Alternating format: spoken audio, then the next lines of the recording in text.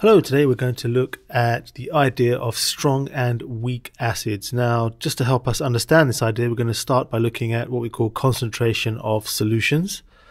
So, to start off nice and simply, you can imagine that the concentration of a solution can be described as high or low. A low concentration would mean a dilute solution, so very watery. Um, if we have a high concentration, we might call that a concentrated solution a concentrated solution. So, in terms of our dilute and concentrated, what's the actual difference? Well, you can measure the concentration, and basically, the more solute per decimeter cubed, so the more solute per given volume, i.e., a decimeter cubed, the more concentrated a solution. So we could give an example of, I don't know, maybe 50 grams per decimeter cubed, and that's a measurement of concentration. And if we've got a dilute solution, well, that would be uh, less concentrated. And in other words, we could have an example of maybe 5 grams per decimeter cubed. So that's a more dilute solution compared to the one above. We can do a quick calculation to work out the concentration of a solution. We've done this in detail before in a previous video, but imagine we had 25 grams of sulfuric acid dissolved in 0.2 decimeters cubed of water. What's the concentration? Well, we could say 25 grams of our solute is in 0.2 decimeters cubed. We want to know how much in 1 decimeter cubed. So what do we do to go from 0.2 to 1? We multiply by 5. So we do the same with our grams, and that gives us 125 grams. That's one way to do it, but you could also, if you understand this idea, you could probably just do, or in fact, you can just do 25 divided by 0.2, and that will give you the same answer. And as, as I say, we've looked at this in detail in a previous video, but the answer is 125 grams per decimeters cubed. So that's one way of describing concentration and one way of calculating concentration from, from some information. Now, when we're looking at acids, we often talk not only in terms of concentration, but we also talk in terms of strength of acids as well. So, if we have a strong acid, this is different to having a concentrated acid. So, strength and concentration of acids are two different things, and we're going to see exactly why that is in a moment. We describe or measure the strength of an acid using pH, a lowercase p and a capital H stands for power of hydrogen. And pH goes from 0 all the way up to 0, uh, 0 to 6 for acids. So from 0 to 6, that will be our acid pHs. And as we know, pHs can, or sorry, acids can be either strong or weak. They could be somewhere in the middle too, of course, but we often describe acids as being strong or weak acids. So we're going to actually see why we have acids of different strength, even though concentrations might be the same. So here's a bunch of acids that you need to know about.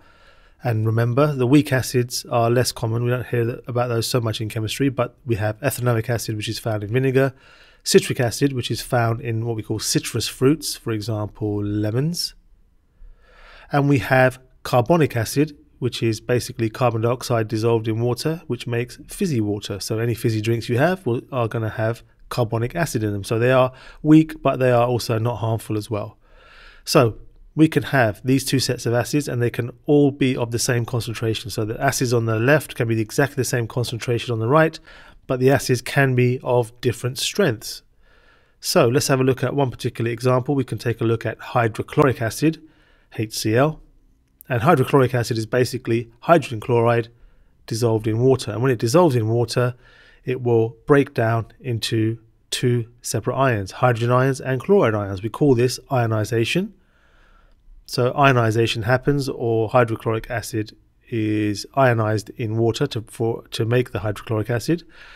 And it's the hydrogen ions here that make the acid the acid. Acids are basically concentrations of hydrogen ions. So that's how we get the acid formed from hydrogen chloride.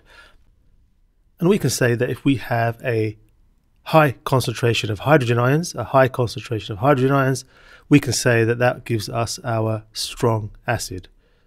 So strong acids have higher concentrations of hydrogen ions. Now, what is it that makes an acid strong? Well, it's to do with how much ionization actually happens. So, when we look at the equation there, we can see that hydrogen chloride breaks down into hydrogen ions and chloride ions. We can have a look at an example from the weak acids as well. We can have a look at ethanoic acid. There's a formula for ethanoic acid, and it breaks down into those two ions.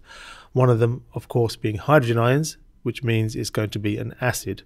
If we look at the equation here, it's reversible. The actual correct sign for reversible is that. Not what I've done below, it's what I've drawn out in the darker red. But we also have our hydrogen ions for our weak acids. But what's the difference? Well, even though the two solutions are the same concentration, the hydrogen chloride will become completely ionized, or pretty much completely ionized, whereas the ethanoic acid, the weak acid, will only become partially ionized.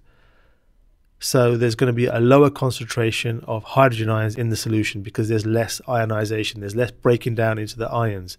And not only that, the reaction is reversible, so the ions do reform as well. So the hydrogen ions are kept or are in a much lower concentration. Even though the actual concentration of the solution is the same, we get different strengths of acid. Okay, so same concentration, different pH. And that's the reason why we have strong and weak acids. It's all to do with the amount of ionization that happens. And it's all to do with hydrogen ion concentration as a result of that ionization. So the next thing I want to look at briefly is this idea of the concentration of hydrogen ions in acids. And we're going to link that we're going to link that to pH. So here we've got our range of pHs all the way from 0 to 6, from pH 0 to pH 6. And as we know, the lower the pH, the stronger the acid. So pH 0 is going to be a strong acid. Strong acid. Whereas our pH 6 is going to be a weak acid. There's going to be a lower concentration of hydrogen ions. And the lower the pH, the stronger the acid. And we should be able to link that to the pattern in hydrogen ion concentrations of these acids. Now, hydrogen ion concentration gets higher every time we drop in pH. In fact, for a pH drop of 1, we get an increase in hydrogen ion concentration of times 10. So a drop in pH of 1 will give us a 10 times higher concentration of hydrogen ions. 10 times higher concentration of hydrogen ions. So that means every time we drop by a pH of 1, from 5 to 4 and 4 to 3 and so on, we get a 10 times increase in the concentration of hydrogen ions. And you can see that in the little diagram there for every step. Okay, so what does that mean? Well, if we had a pH of 3 compared to a pH of 1, you can see that that's two drops in pH. So we would get times 10 times 10 higher concentration of hydrogen ions, and that would be overall 100 times higher concentration of hydrogen ions for a pH drop of 2. Okay, so we can look at one more example, perhaps. Let's go from pH, let's say um, pH 5 down to pH 1. No, down to pH 0. So that would be 100,000 times higher concentration of hydrogen ions as a result of a drop of 5 pHs. Okay, so every time we go down by 1 pH, 10 times higher concentration of hydrogen ions. And that just basically means that we have for a weak acid, there's partial ionization, and for a strong acid, there's more complete um, ionization and therefore stronger acids. And there's the pattern in front of you there that we just talked about for how the hydrogen ion concentration changes. Okay, so that's me done for this video today. Thank you for watching, and I'll see you soon.